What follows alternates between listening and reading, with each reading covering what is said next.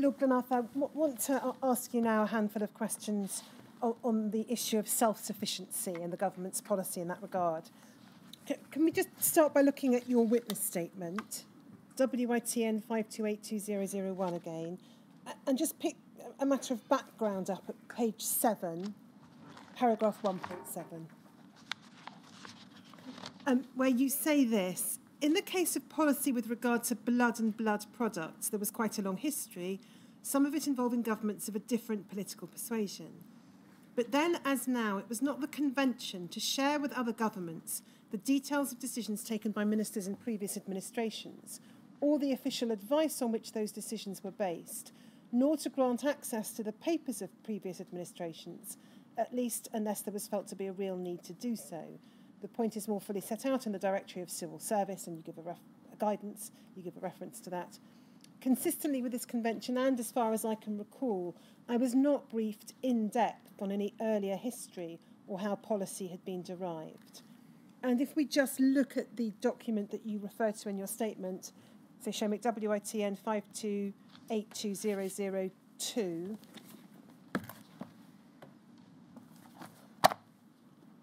5282002, this is the extract from the Directory of Civil Service Guidance to which you referred, I think. Yes. And we can see it's entitled Access by Ministers and Special Advisers to Documents of a Previous Administration um, documents of a former administration are the property of the Crown. Access to them by any person not entitled in an official capacity to see them requires the agreement of the government of the day until they're released as public records. Ministers of a former administration, whether currently in office or not, may see but not retain official documents which they saw as members of that administration. And then, three, and I think this is what you were referring to in your statement, it is an established convention that ministers of a current administration may not generally see documents of a former administration of a different political party. And then um, the, the guidance sets out uh, uh, um, uh, a description given by the then Prime Minister in a written parliamentary uh, uh, answer on the 24th of January 1980. I'm, I'm not going to go through the detail of that. But that's, that's the convention to which you referred in your statement. Yes, it is and, and, so, is it right to understand that you would, you therefore, you, you think possibly because of that convention, um, don't think you'd have received any kind of detailed briefing about the history of the self-sufficiency policy? No, I was only aware that the um, BPL was going to be rebuilt, um, but I wasn't given any information about the background leading up to those decisions taken in the 70s and uh, up to 79. Um, before we just look at, at what then um, you were being told uh, by, by, your civil servants about the policy and, and, and some um, interactions you had uh, in relation to it, um, do you have any observations or views upon upon the convention that, that you've described and uh, and whether it's it, its impact on, on good government or its impact on the public interest? Well, I don't, I don't think I could be, uh, speak generally about no. it because it is a convention. In terms of my own involvement in this particular issue, it would obviously have been um, least interesting and probably more than that to have been made more aware. But um, having said that, uh, the, the process was in train, albeit extremely slowly, uh, in, in my view, um, to, uh, to redevelop BPL. So it would have been helpful, it would have been interesting, but perhaps not essential. And, and is it right to understand that um, uh, um, you, you, you, you did understand that there was a policy of achieving self sufficiency? You weren't uh, aware yes. of its history, but you knew that was the policy. I, I, I believe I did, yes. Um, and again, if we just go back to a document we've looked at on more than one occasion now, that original briefing um, that, that you got from in writing from Dr. Walford, DHSC 0002309 underscore 124.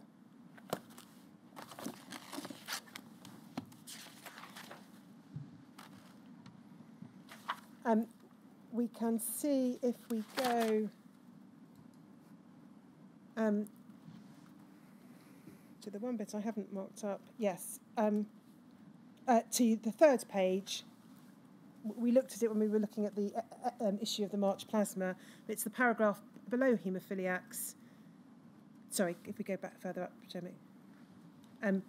Uh, it, it, where it says it's thought that the greatest risk to haemophiliacs at present is from the use of factor VIII concentrate prepared from American plasma, although the blood products laboratory is to be redeveloped over the next three years at a cost of £21 million to achieve national self-sufficiency in blood products.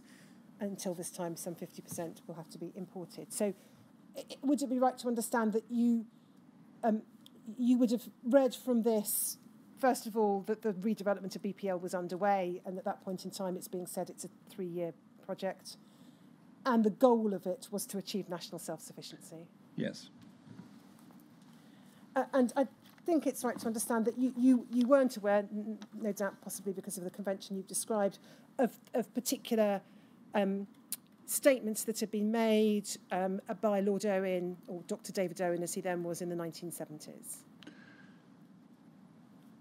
At that point, no, but at, at a, a, point a bit later than this, I replied to a yes. letter uh, which had been written to Kenneth Clarke by David Owen, and I gave a short answer which said, yes, it was still going on. Yes, um, and, and, and in fairness, we'll, we'll, we'll just look at that. Yes, I'm so sorry, my question wasn't sufficiently clear. You're right. At the point in time when you take up your role, the information you have, as I understand it, about the government's policy in relation to self sufficiency is essentially as summarised in the paper there. Exactly. Um, so you don't know more of the history, but then you did receive a letter, as you say, or, or you or you would send a copy of a letter to to Kenneth Clarke, DHSC zero zero zero zero two zero nine.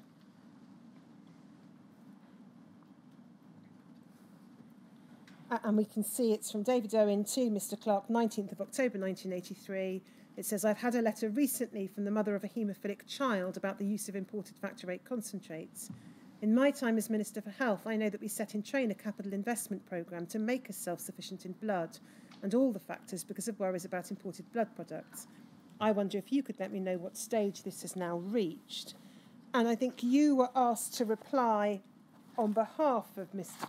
Clarke, um, or, or asked to reply in any event uh, and it's at DHSC 000208.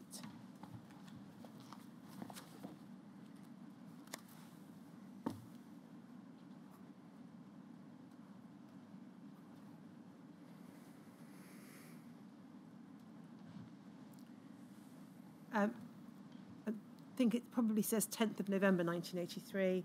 Um, dear Dr. Owen, thank you for your letter of the 19th of October about the supply of blood products in this country. I can assure you that the government is committed to making this country self sufficient in blood products. Over £2 million has already been spent on improving the production facilities at the Blood Products Laboratory at Elstree, Herts, and a major three year redevelopment programme is now underway.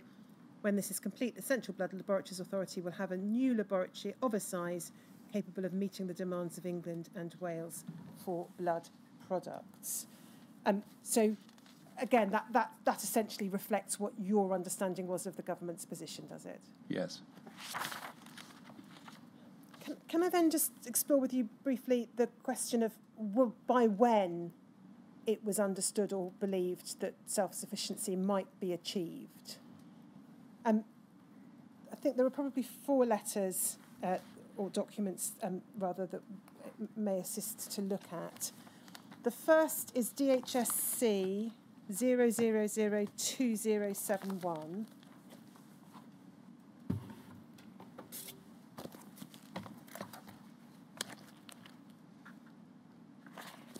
Um, we've already looked at this um, uh, in part.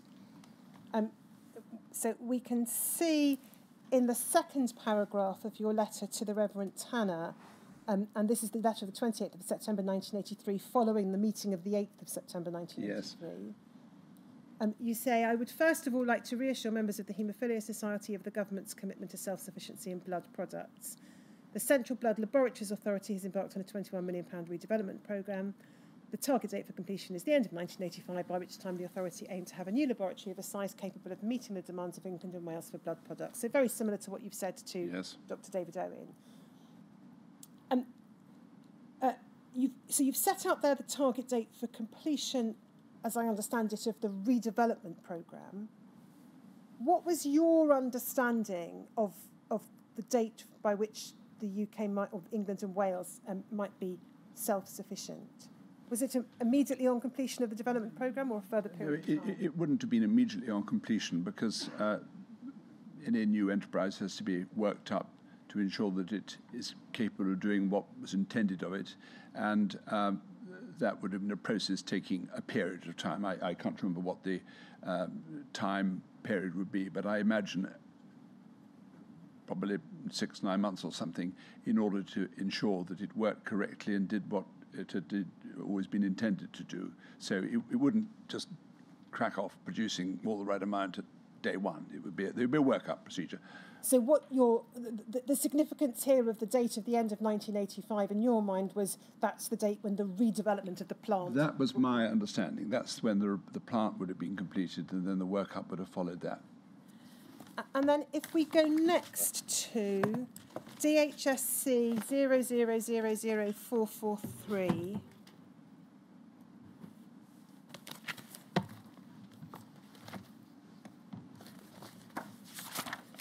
This is the briefing note from Dr. Smithies that you were sent in August 1984. Um, again, we've looked at on more than one occasion, but if we can go to page three of the document, please, Seamus. Under the heading, halfway down the page, haemophiliac patients with antibody to HTLV3, um, if we pick it up about halfway down that paragraph where it says, as ministers are aware, Building of the plants required to extract factor VIII from blood donation given in this country is going ahead at Elstree, and it is expected that self sufficiency will be obtained by 1987 uh, 88. In the meantime, sufferers from haemophilia must continue to be supported with factor VIII concentrates obtained from abroad. So that does appear, is this right, to be talking not just about completion of the plant, the redevelopment, but actually achieving self sufficiency. Yes. And it puts it rather longer than, than six to nine months. It's well, six to nine months was me plucking up what I thought to be a sensible figure out of the air. So yes, probably a bit longer than that. Um, uh, so that's August 84. Um, if we then go to PRSE 000 2251,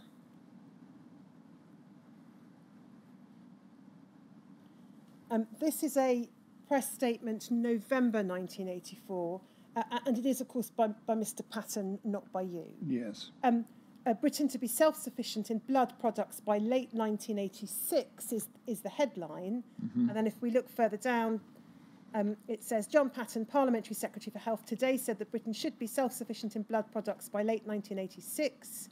He also announced action which has been taken on four fronts to combat the spread of AIDS in this country. Mr. Patten said our multi million pound development project at the Blood Products Laboratory, Elstree, is on target for completion early in 1986, and this should enable us to become self sufficient in blood products such as factor VIII, which is a clotting agent required by haemophiliacs, by the end of that year. This will mean that we no longer have to import factor VIII from abroad. So here it's being said, rather shorter period than Dr. Smith's briefing note, the plant, the redevelopment plant, should be completed by the beginning of 1986 or early in 1986. Self sufficiency by the end of 1986. Is that how you understand? That's how I understand it. Yes. And, and, and are you able to assist us in understanding why there is this variation between the suggestion that it's 87, 88 by Dr. Smithies and, and Mr. Patten saying it's the end of 86? No, I'm not able to help you at all. Um, and then the last document I wanted to ask you about on this particular topic is, I think, a document that you, you may have been given yesterday evening or this morning. Um, it's C O L L 609.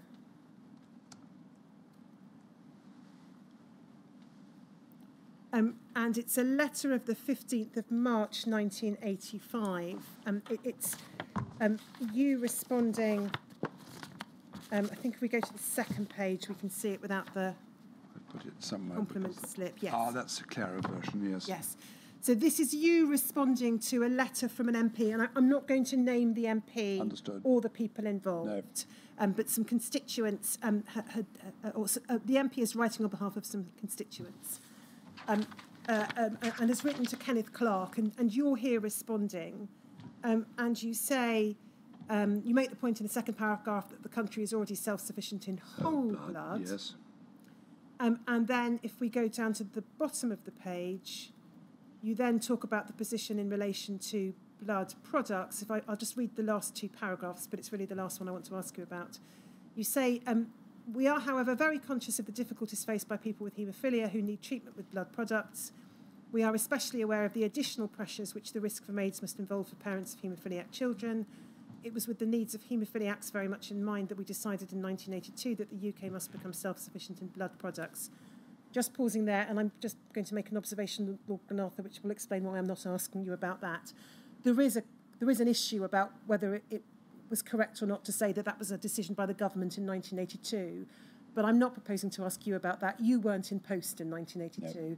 No. It's a matter that can be picked up to the extent it needs to with other witnesses. Yes, thank you. But then the last paragraph says this To achieve this goal, we commissioned the rebuilding of the Blood Products Laboratory in Elstree, and the project is presently on target for completion early in 1986. Self sufficiency of itself will not guarantee AIDS free blood products, but we shall then no longer be dependent upon imported factor VIII produced from pooled plasma given by donors who are paid for their blood. I'm, I do not need to ask you to look at uh, anything else in the letter. Now, in that last paragraph, you're, you're talking about completion of the project early in 1986, and then the next sentence goes on immediately to talk about self-sufficiency. And it, it, it might be said that it is at least giving the impression that self-sufficiency will be achieved upon completion of the build.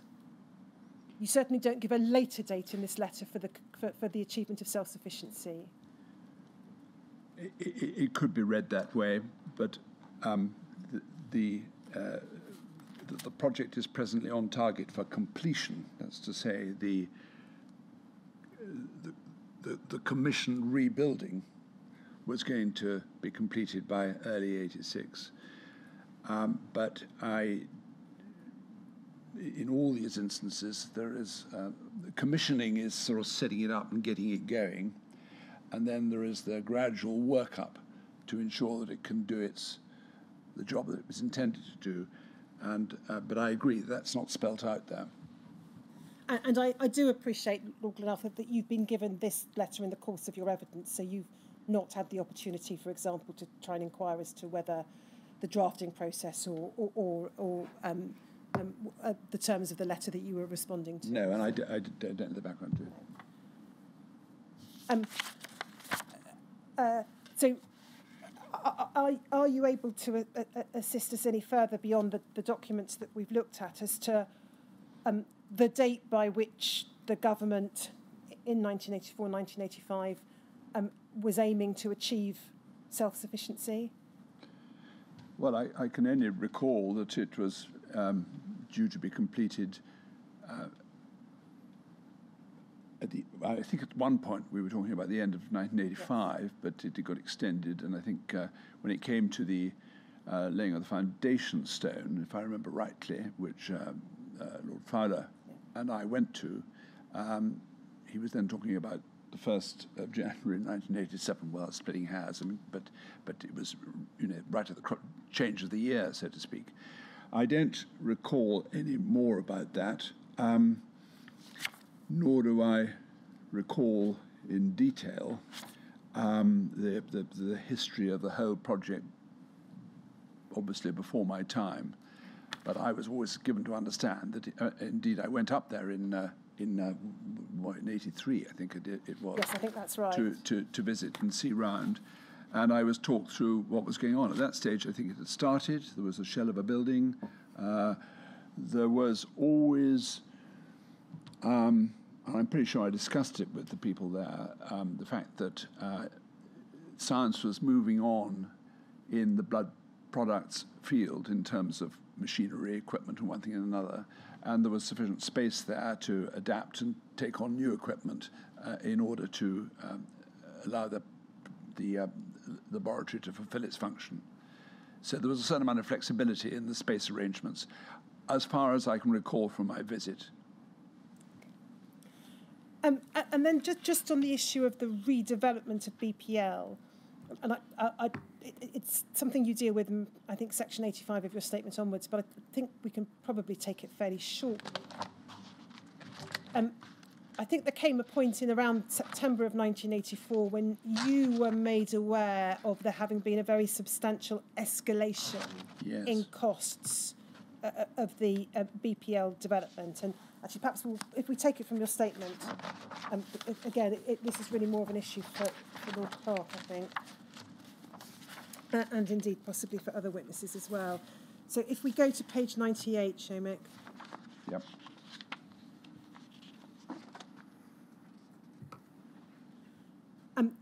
paragraph 85.1, you say, I've been referred to a submission sent to ministers dated the 20th of September 1984, seeking approval for a substantial increase in the capital costs for the redevelopment of BPL. The submission was sent to my private office as well as to the Minister of State. And you've summarised here, and I think this means we don't need to go to the underlying material, the three options that were put forward in the submission abandon the project, cut the project back to fit the the, the original budget with a yep. bit of inflation or accept the, the revised budget, essentially. Yes. Um, um, and, and if we go to the next page,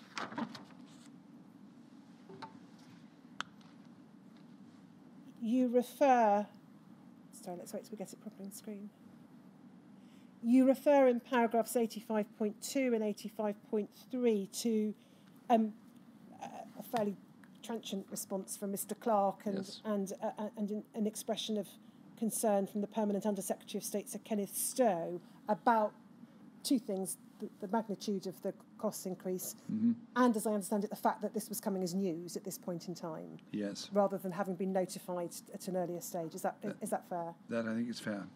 Um, and then um, you, you've set out uh, in, in your statement um, some how that matter then progressed and ver- various other uh, uh, exchanges and, and, and, and communications.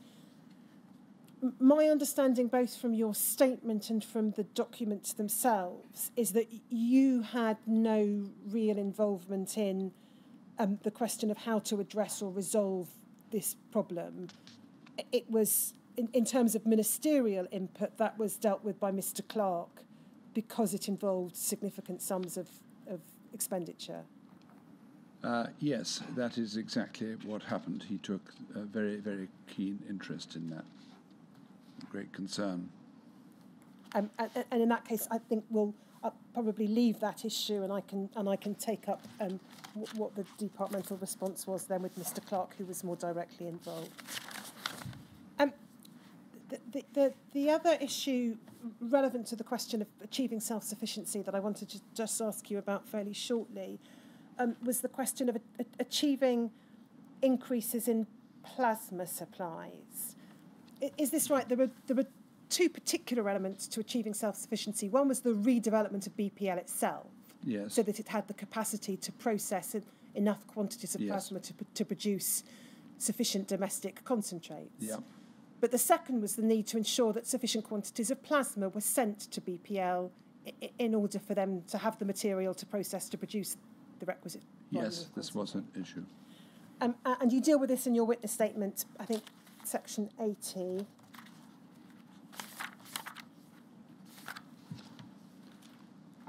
Um, uh, I, I'm, I'm not going to ask you to look at the. I'm not going to put the document on screen, but if you want it for your own reference, yes um, Lord Glenarthur, it's, it's from page 88 onwards that you deal with this. Page 88 onwards. So what yep. I want to do is just really look at a very small number of documents, um, in part just to add a little to your witness statement, because there are a couple of documents that I think have come to light since you produced your witness statement, which, which have been shown to you. Um, if we pick it up in February of 1984, um, you, if, if, you want to be following it in your statement, yes. Glenarthur, it's paragraph 80.6. Um, yep. Um, Dr. Gunson wrote to uh, Dr. Harris, who was one of the deputy chief medical yes. officers, um, raising concerns about whether there was going to be sufficient supplies of plasma um, for BPL. and if we look at Mr. Sorry, Dr. Harris's response, that's at DHSC 004692 underscore 114.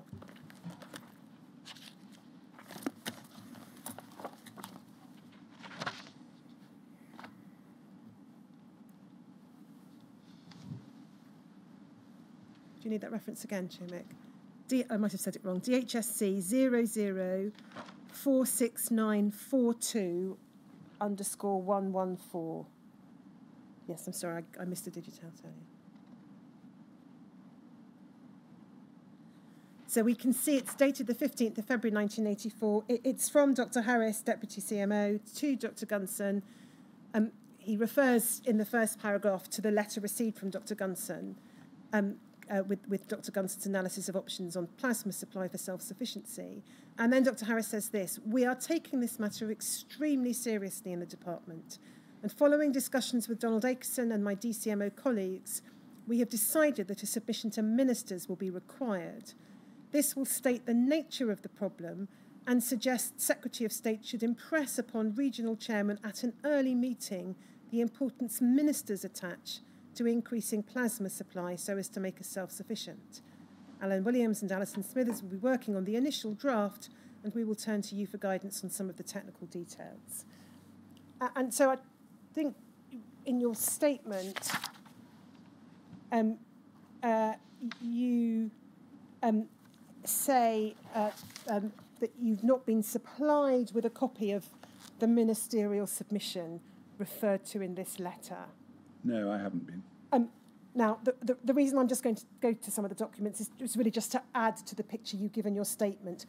The reason we think, um, Lord Glenarthur, that you weren't supplied with the ministerial submission is that it looks like a decision was taken, contrary to what Dr. Harris had set out here, to go not to ministers, but to go instead to the NHS Management Board. And so, because this is additional to the material in your witness statement, I just want to go through it so that the, the chronology is apparent to all. Yes. So, we, we have the le- the, this letter from Dr. Harris in uh, February 1984. If we then go to DHSC 00022241 underscore 003,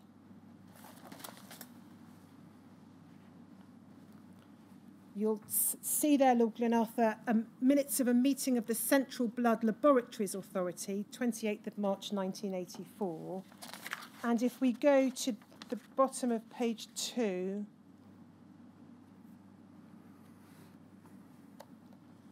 you'll see the heading plasma supply. Dr. Harris referred to his suggestion at the last meeting about the problem of plasma supply being taken up at meetings of regional chairmen with the Secretary of State. And pausing there, that seems to reflect the content of the, the letter that we looked at to Dr. Gunson. But confirmed that unfortunately these recent meetings have not proved suitable owing to other business. He suggested, therefore, that it would now be more appropriate to report this matter as a point of urgency to the NHS Management Board, as the DHSS were well aware of the problem. Dr. Harris agreed to report back on progress at the authority's next meeting in May. So it would seem, Lord Glenarthur, that the decision was taken perhaps by Dr. Harris um, uh, that rather than take this matter up with the Secretary of State or, or with yourself as, as, as, as, as Minister, it was going to be taken up urgently with the NHS Management Board. Is, is, is that your reading of the material? That's what it looks like, yes. And then if we pick matters up at the, at the May meeting of the CBLA, which is CBLA 00020007, mm-hmm. And you didn't have the, that last document or the document we're just going to look at when you were drafting your statement. No, I didn't. Why I'm, I've got I'm just it subsequently. Some, yes, I, well, I'm taking some time with it now. Um, so we can see these are the minutes of the next meeting, the 12th meeting of the CBLA, 23rd of March 1984. And if we go to page five,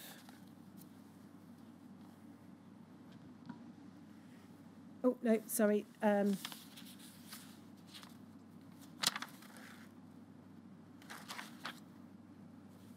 looking at a document which doesn't look like that at all.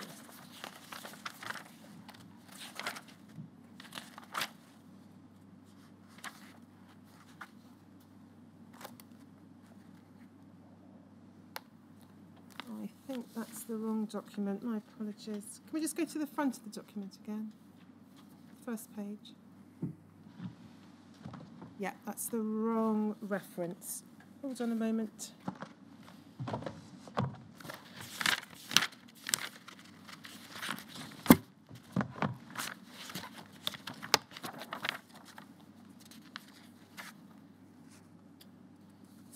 Can we try CBLA 00049998?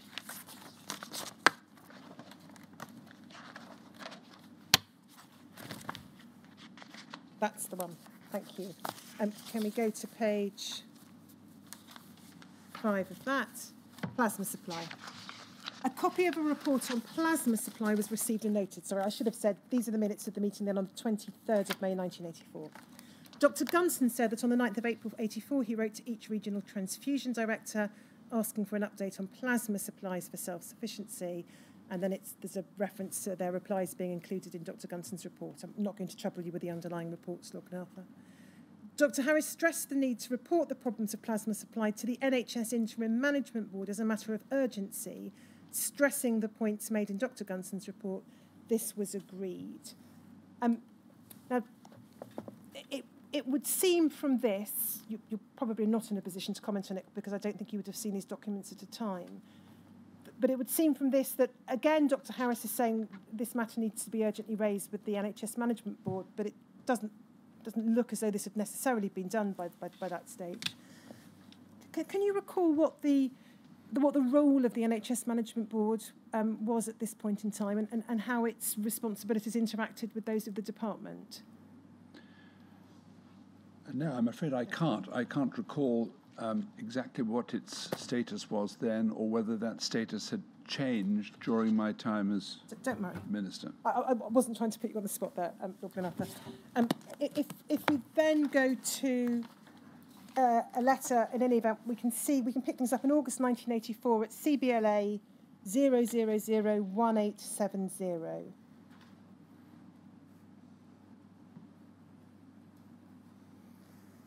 So, just to fix the chronology in our mind, Dr. Gunson raises the problem in February 84. Dr. Harris says we're taking it very seriously. We're going to send the matter to, to ministers. You observe in your statement it never came to you. That seems to be absolutely right, Lord Glenarthur. March and May 1984, Dr. Harris says we must raise this urgently with the NHS Management Board. Um, um, the inquiry will no doubt need to look in more detail at what happened in the intervening um, weeks and months. But what we get to here is a letter of the 10th of August 1984, um, which is sent to all regional administrators uh, um, uh, uh, from the Department of Health, from Mr. Parker. Uh, and it refers to, in the second paragraph, says, I'm concerned to learn from several regional transfusion directors that they're pessimistic about their chances of attaining the continued growth in plasma procurement so as to reach the target set for 1988 regional health authorities in some cases have not provided the necessary additional funding and others have not been prepared to give a long-term commitment to continued expansion to meet the target set. Ministers attach considerable importance to the matter of self-sufficiency in the supply of blood and blood products and the procurement of the necessary raw material blood plasma by regional transfusion centres is a vital element in this process. The construction of the enlarged production unit at BPL is well underway. The considerable savings the NHS will make by not having to buy commercial products will not be realised without adequate supplies of blood plasma. So there's the problem being described. Action, I should be glad if you would arrange for your regional health authority to reconsider the steps it's taking in order to ensure that the plasma procurement target set for your region will be met. And there's a request to have comments by the end of September. Yes. Um, and then I'm, I'm not going to go to the further documents. The issues picked up at a later CBLA meeting. Um, th there is some correspondence that goes out in your name, I think, to Tony Benn MP about, about the issue. Um, the, the, the purpose of showing you those materials, Lord Glenarthur, is, is first of all to, to indicate that it would seem from this that the ministerial submission which you refer to in your statement as not having been supplied to you doesn't in fact exist because the matter didn't go to ministers at all. That's what it seems like from what you've explained. Um, do you do you have any, any observations or, or thoughts about, about the course that appears to have been taken by Dr. Harris, which was to go to the NHS Management Board instead of ministers? Do you think it should have come to ministers? It did indicate uh, on one of those documents that the original idea had been to raise it with the Secretary of State at one of his regional chairman's meetings, um, but that for one reason or another that could not be fitted in. Um, uh, uh, why that should have happened, I, I, I have no idea. I did attend a number of regional chairman's meetings with the Secretary of State over the two years I was in the department. I can't recall an awful lot about them, quite honestly, um, and I have no idea whether whether this sort of issue was raised at any of them. So I'm afraid I can't help you. Um, do you have any concerns about the the time frame from Dr. Gunson raising these concerns in February 1984, uh, and then it being August of 1984 before th- there's a, a, a letter sent out to regional administrators requiring action. Given what was said to be the urgency of this, do you think February to August 1984 is, is too long a period of time? Well, so it appears. I mean, there did seem to be an awful lot of, uh, what's the word? Um, there was a, in so many of these things, there was a, a long period of predigestion within the department before action was taken. That seemed to be the nature of the beast. Um, uh, frustratingly, I think, in many cases, and no doubt frustratingly for uh, Dr. Gunson in this particular case. But I can't explain uh, why, other than that it's being tossed around in the official, in official circles. And um, it, it may be that some of these matters were brought to your attention. It may be they weren't. I don't think we can tell from the documentation available. So I'm just going to put my next question to you as a matter of general principle. Yeah. Um, given the importance of the policy of self-sufficiency and given the importance of increasing plasma supply in order to be able to achieve the policy of self-sufficiency, is this something which, as a matter of fact, you think ministers should have been closely briefed on and kept up to date with developments? Well, I think that would have been helpful and uh, uh, uh, and kept us in the frame so that we were aware of what's going on and, and, and intervened if necessary, one way or the other, preferably to speed it up. But we weren't, so we uh, couldn't act. And, and, and, it, and it is right to note, and I'm, I'm, I'm deliberately taking this quite quickly without going to all the documents because you weren't closely involved but your statement explains and, and produces the documents. You did, for example, give a speech in September 1984 to a, the British Blood Transfusion Society, yes. in which you referred to the request having gone to regional health authorities. So you obviously had been told, at least by that date, that that yes. action was being undertaken. So I, I, don't want to put things on an incorrect factual basis to you. Um, can I then move away from self-sufficiency and BPL altogether to a discrete topic um, which concerns um, the collection of blood from prisons. So if we go to PRSE 000479,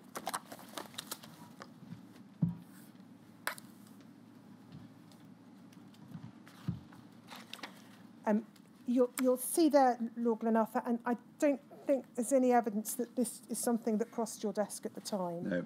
Um, it's a minute from Mr. Winstanley to Mr. Brown, dated the 23rd of August 1983. If we just look at the list of those who are copied, is there anyone there in your private office?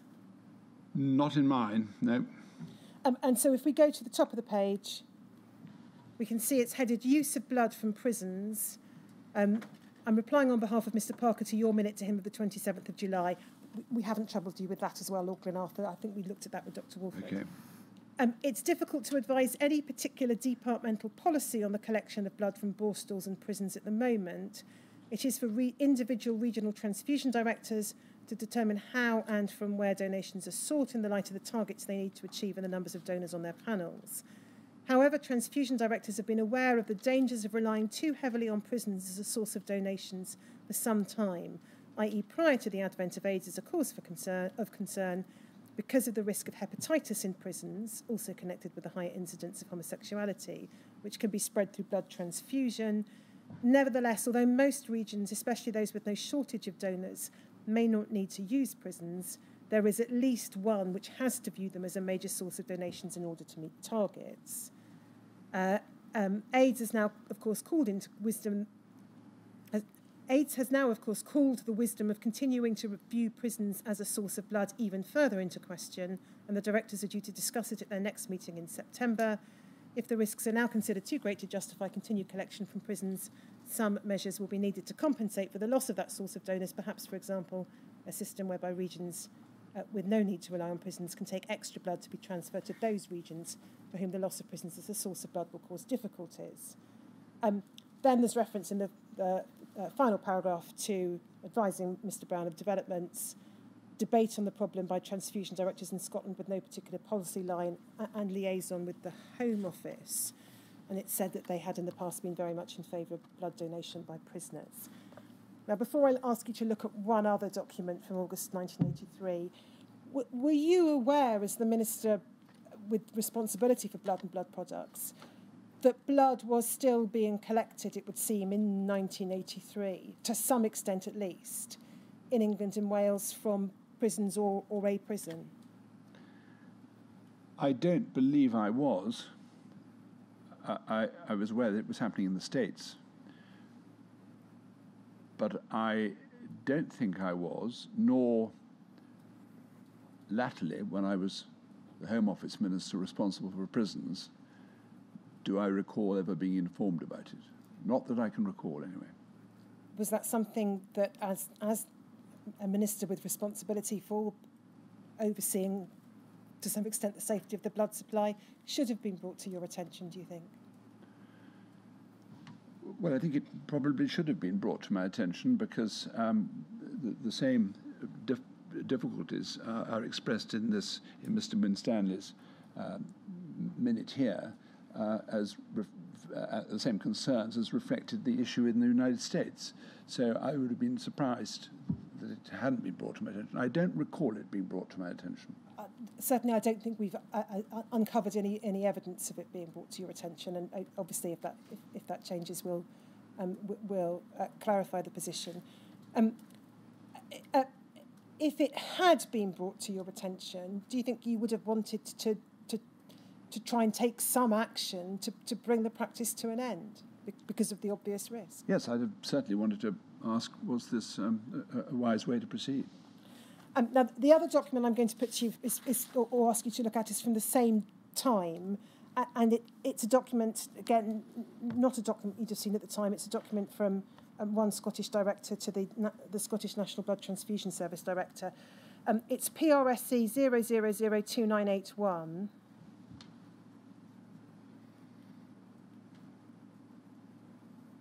Um, it's the 23rd of August 83, so it's the same date. Yep. And, and it's from Dr. Brooks, uh, Regional Director of the East of Scotland Blood Transfusion Service, to Dr. Cash of SNBTS. I, I draw attention to it really only for the sake of, of, of completeness and balance. Uh, at the bottom paragraph, donor sessions at prisons and borstals, um, uh, says, You asked me to discuss this with my colleagues. So that's referring to internal Scottish directors, uh, um, as, as I understand it um, uh, or perhaps in fact more widely. In fact, no discussion was necessary since, as far as England and Wales are concerned, these sessions have already been stopped. Yes. It's now left to the Scottish regions to decide whether they will do the same. So we have a slight curiosity, Lord Arthur, and I don't think we've got to the bottom of it yet, but two letters on the same date. Yeah, the same, just which, 84? Yeah, no, no, um, exactly the same yeah. date. Okay. Yes. Yeah. Two letters on the same date. The Scottish one seems to think that the practice has stopped in England and Wales. The internal DHSS memo seems to think that it's still going on, at least in one area. I don't expect you to be able to resolve that, but having asked you about the one document, I wanted to put the other document Thank which you. suggested it had stopped um, on, on, on, the record. Yeah. Um, can I then ask you um, just a, a little about the question of hepatitis because it was referred to in, in, in the first of the two prison minutes that we looked at.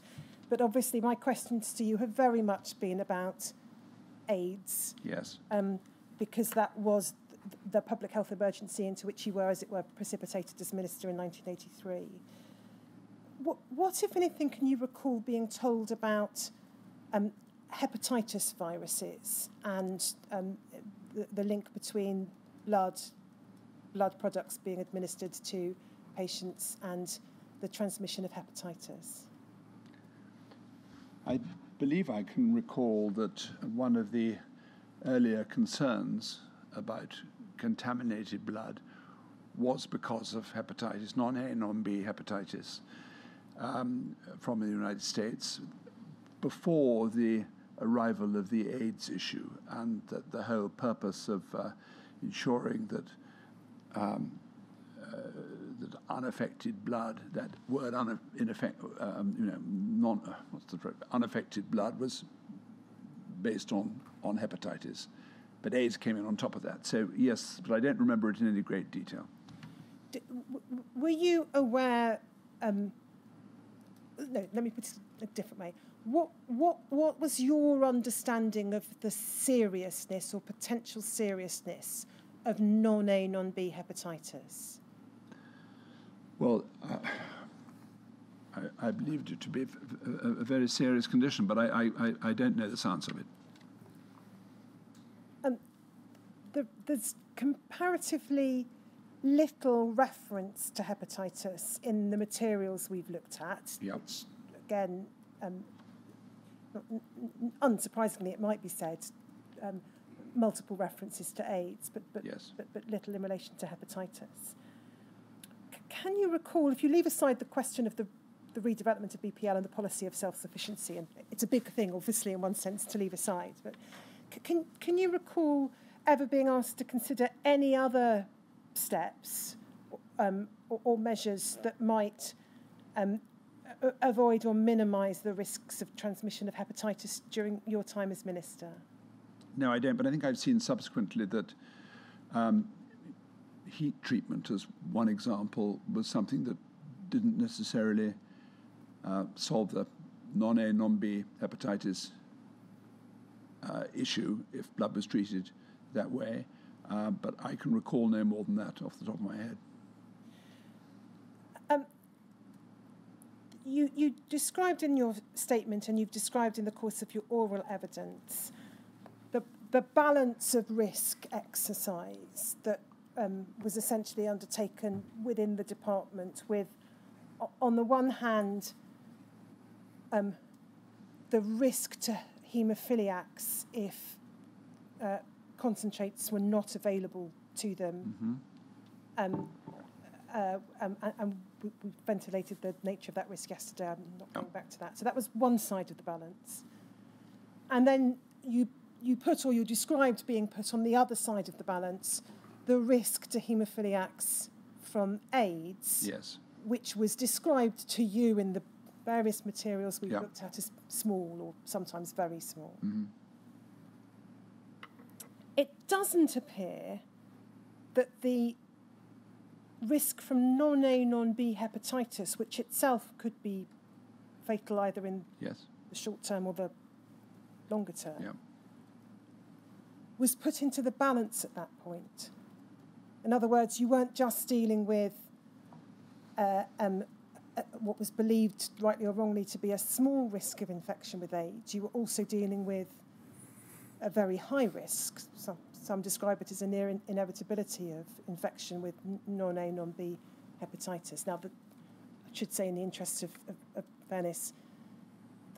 non A, non B hepatitis is also an, a significant problem in terms of the domestic blood supply. But g- d- d- do you know why, in undertaking that balance, the, the issue of non A, non B hepatitis doesn't appear to have factored in in, in the department's decision making process? In, and specifically in 1983, I'm talking about. No, I don't know, and uh, I'm quite surprised that it wasn't flagged up. Uh, for example, in the first um, briefing I had from uh, Dr. Walford, uh, or highlighted in some way, I can't recall without looking at it whether or not it referred to it at all.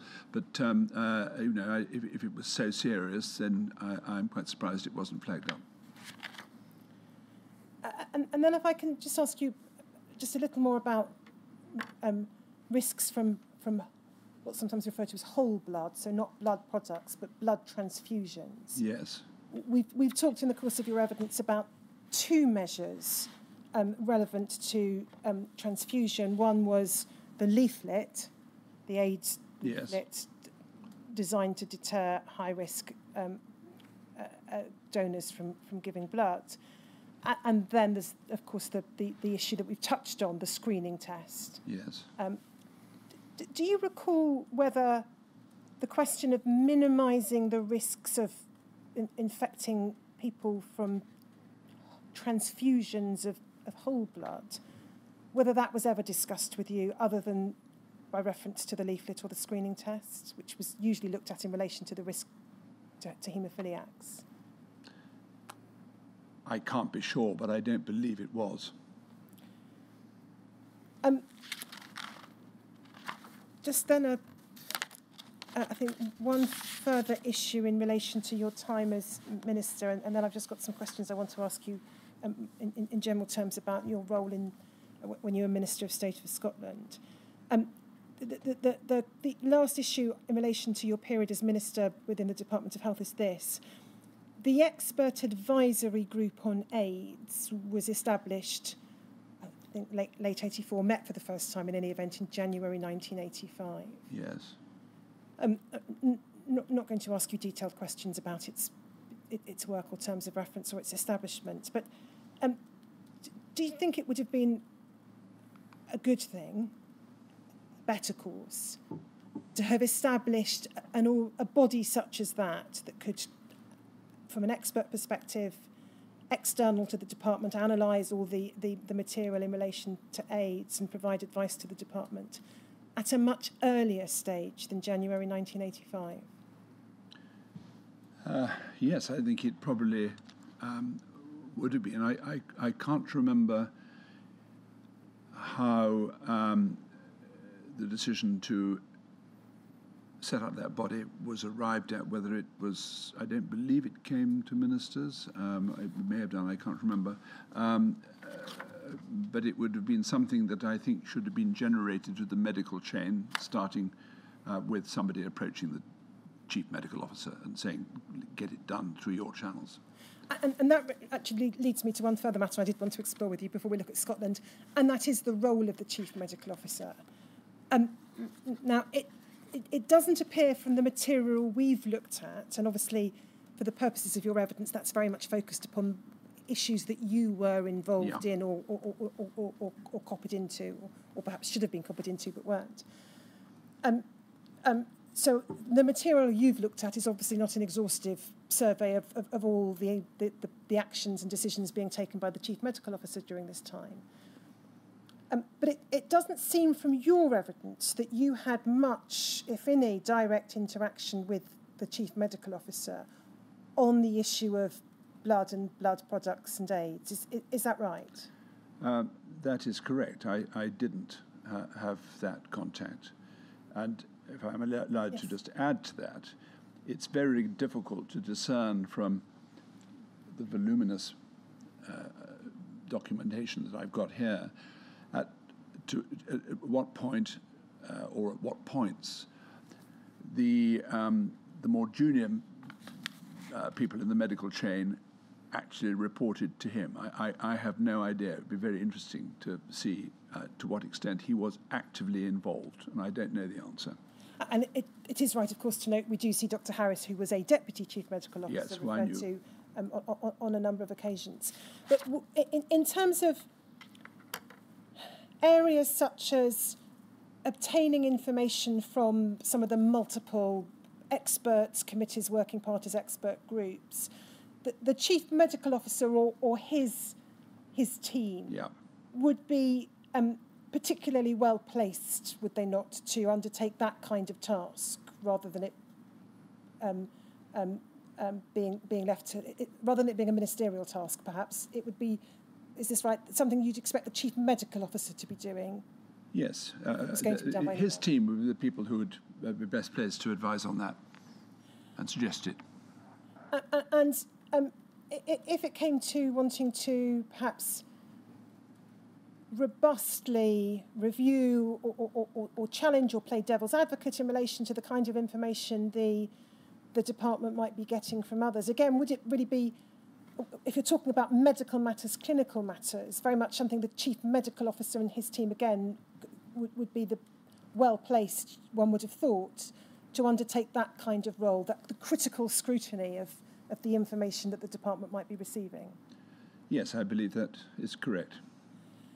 Um, and then the disseminate, dissemination of information to doctors or patients, and obviously we've discussed the issues in relation to that in some detail. We know, I think, that Dr. Acheson did send out a Dear Doctor letter in relation to AIDS in 1985. But again, um, it, it, would it most likely have been through the office of the Chief Medical Officer that the department would have most readily been able to provide information to doctors or provide information to patient groups. That would have been the, the natural conduit. That would be the natural course, yes. Can I then come um, to, to Scotland? Um, if we go in your statement, can we go back to, to Lord Glenarthur's statement, please? Um, and go to page 115. To WITN 5282001.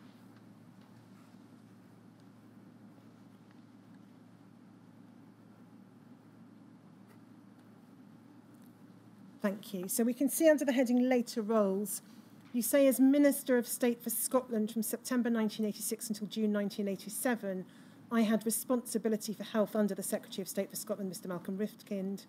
I do not recall detail about blood or blood products per se, uh, but I do recall being advised to and agreed to needle exchange in order to prevent the cross-contamination of AIDS, hepatitis and other diseases by drug abusers. And then on 102, you say at the time I would have had overall responsibility for blood, blood products and related matters, and recompense and support for people infected and affected by HIV and hepatitis as a result of transfusions of blood and blood products. But I'm now unaware of the detail and, and have no records. And then you set out um, some very limited information you've been able to give um, about meetings, um, a, a, meeting in relation to AIDS in January 1987, and attendance at, at one of the meetings um, on, on the 9th of April 1987 uh, uh, uh, of the Cabinet's Home Affairs and Social Affairs Subcommittee on AIDS. Um, now, I recognise fully, Lord Glenarthur, that you've not been provided with documents relating to this time in order to be able to refresh your memory. So the questions I'm going to ask you about it are going to be very general in their nature. Um, and and it, it, it may be, I don't know, that you can't take your statement any further without seeing underlying documents. Um, um, but is this right? You, you'd have, you were, um, in, in terms of the ministerial responsibilities within the Scottish office, mm-hmm. health was one of your areas, and thus blood and blood products would have come under the health umbrella. Yes, it would have done. Health, I mean, there were ser- another series of issues as well as health, but health was one of them, and uh, that was all encompassing so far as health was concerned, and, um, every aspect, yeah. Now, you'd obviously have come to the Scottish role, I think, with an intervening period at the Home Office, as yeah. you mentioned, but with a, a, a, degree of knowledge in relation to blood and blood products and, and, and AIDS, mm-hmm. um, to, to hepatitis to a lesser extent, that you'd have acquired from your role at the Department of Health. Do you recall whether taking up the health responsibility in Scotland? You you made any inquiries or requested information about what the situation was in relation to in infection from blood and blood products in Scotland? I may have done. I honestly can't recall now, um, and no documentation's been uh, shown to me to suggest that I I, I might have um, asked for a briefing on it find out where Scotland was in comparison to, to England or anything like that, I'm afraid. And Lord Glenarthur, we may have to come back to you at least for a further statement if, if such documentation is found, um, because I do appreciate you've not, you've not, you've not, Fine, you. you've not had it. Um, can you recall anything at all about the, the decision-making structures? You've described the decision-making structures within the Department of Health on health matters. So there was, um, we've got the parallel hierarchies: chief medical officer, administrative hi- uh, um, civil servants, uh, the private office, uh, and you've described how information came to you, and, and we've looked at lots of examples of when information didn't come to you. D- do you recall whether it functioned in a similar way at the Scottish office in terms of health responsibilities? I um, not not in any great detail. The, the, the, the, I think there was a chief medical officer for Scotland, and there was a head of the Scottish Home and Health Department who was an official, and uh, there would have been a stream dealing with various aspects. But I'm afraid I do simply do not recall any of it in, in detail, rather surprisingly. Um, and um, uh, do you recall what the precise relationship was between the, the, the Scottish office as the overarching, as it were, government department that you were appointed to, and the Scottish Home and Health Department? I, can't recall what the other branches were in the Scottish office because it was Scottish Home and Health that I dealt with most of the time, uh, as well as, you know, there was industry, there was uh, a whole series of different elements and I only concentrated on I think three or four of them. I can't remember now. Uh, um, do, do, you have any recollection um, at, at, all of whether the approach in, in Scotland was um, to, to, to, as it were, go its own way, plough, plough its own furrow on the basis of its own independent advice, or, or whether it was a question of trying to peg what it was doing to what was being done at the department in relation to England and Wales? Well, I, I can't be sure, but I'm sure that there was close liaison between um, the uh, between England and Scotland and no doubt Wales and Northern Ireland on these these issues. I, I simply cannot recall exactly how it worked, but uh, there was evidence in some of the other material I've seen where SHHD uh, were, were, were copied in. And then last question for now. I'm, I'm going to ask it because I've been asked to. I, I rather suspect from what you've been able to say that without documents you, you to prompt your memory, you're not going to be able to answer it. But um, th- th- there's a particular issue in relation to blood products in Scotland in 1986, 1987, in, in terms of um, products in England that, that, that may have been treated so as to eliminate non A, non B hepatitis not being available in Scotland until a later date. Do you have any recollection, without any documents, I'm afraid to prompt you, any recollection of that issue? Uh, no, I don't, I'm afraid.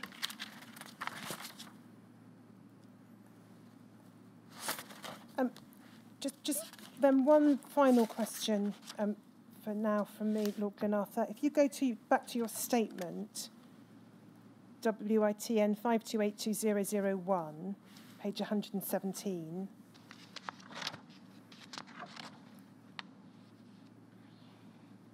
and it's paragraph 108. You say, you say this, I've been asked if I have anything more to add. I believe I've covered as much as I can in relation to a matter with which I was dealing some 38 years ago and in which I had no prior knowledge or experience. It is without doubt that the decisions taken at the time have had tragic consequences for many. This is deeply troubling. However, the decisions taken were on the best scientific, clinical, administrative, and well meaning advice available at the time and it's very difficult to use contemporary attitudes and scientific advances to gainsay the decisions taken at the time. I want to ask you only about one of the, the, the, the observations you make, and it's where you say the decisions taken were on the best scientific, clinical, administrative, and well meaning advice available at the time. Um, given the material we've looked at and the issues we've explored over the course of, of, of yesterday and, and, and today, Lord Glenarthur, and knowing, as I think you may, may now know, quite a lot of material that didn't come your way, do you think you're in a position to, to maintain that the decisions taken were on the best scientific, clinical, administrative advice available at the time? I think I would add now, after the words, however, the decisions taken were, to the best of my belief, the best scientific, etc. Because I had no reason uh, to doubt the advice that I was being given because I was not qualified in the same way as those experts were. I understand, thank you. Um, so those are my questions for Lord Glenarthur as things stand but obviously we need to provide the opportunity to core participants and their recognised legal representatives to suggest any further questions they wish to have considered. So if we could take a break for half an hour, I'd be very grateful. Uh, yes, you think uh, you've, half an hour will be enough, do you? I do think half an hour will be enough. Yes. Uh, very, very well. Well, uh, Lord Glenarthur, what, what happens at this stage, uh, you may know already, but let, if not, let me tell you anyway. Yep. Um, at this stage, uh, there are possibly further questions to be asked by core participants, whoever they are, uh, and the, the routine is that uh, they are channeled through counsel to the inquiry. Yes. So she will uh, be given questions, and if there are any, uh, and then uh, you'll, those questions will be put to you when you come back. But obviously that needs a break, uh, and it's comes at a convenient time for a cup of tea. So we'll come back, uh, shall we, uh, at 25 to, to 4. Th- thank you very much, Sir Brian. Thank you, sir.